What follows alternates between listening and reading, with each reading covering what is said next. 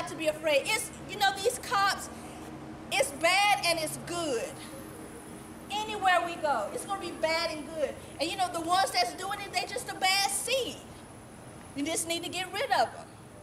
And then those who that's in there who know they work with a bad seed need to say, hey, this brother don't need to be in here.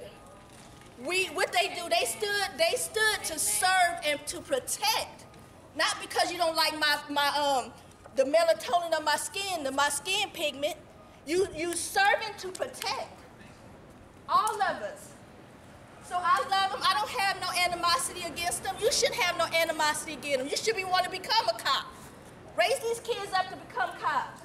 To do what's right. And when you see something wrong, you call it out, no matter what it is. And when the enemy get mad, tell the enemy the truth in his face that he has to back off. Know that God is the reason why we're here. He's the reason why we're here. It wasn't ourselves.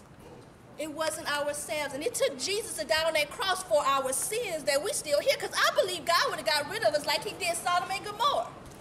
But thank God for grace and his mercy. Y'all keep the peace.